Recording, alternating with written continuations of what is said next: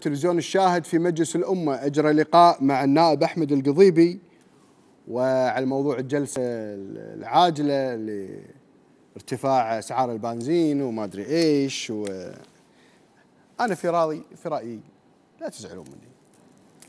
الوثيقة الاقتصادية الكل يعلم بها. أما جلسة طارئة وجلسة نايمة وجلسة واقفة وجلسة قاعدة كل حكي. حبيبي طيور طارت برزاقها وخلصت. شوف التقرير. أبو سليمان يعني ما تلاحظ انه يعني مجلس الأمة ما عاد مثل القوة المجالس السابقة لدرجة أن وزير المالية أول ما استلم الحقيبة الوزارية قال إن إحنا راح نرفع الدعم عن الأسعار وعن البنزين والسوالف هذه.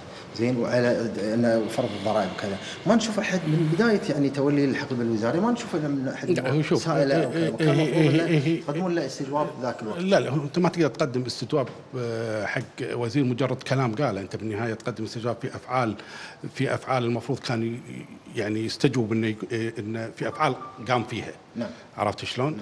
آه كانت تمت مناقشة هذه الأمور داخل اللجنه المالية وكان وتمت مناقشتها باستفاضة كامل آه آه كاملة وتمت ال يعني الموافقة على جزئية الكهرباء بس وإن نخلي باقي الأمور الثانية اللي هي الدعوم والأمور الثانية مناقشتها بعدين نشوف ما مدى تأثير الكهرباء على هذا الجانب.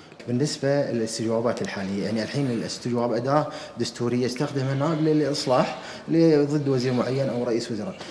فيعني ما عاد ذاك الأهمية الاستجواب الحين يمر مرور الكرام ما في ولا نائب يعني في وزير. هو إي طبعا بالنهاية هذا قناعات النواب موجودة. مدى قناعتهم في محاور الاستجواب هذا هو يعني من وجهة نظري هو اللي يعطي قناعة النائب. إنه والله يأيد الاستجواب أو ما يأيده. أيضا مراسلنا في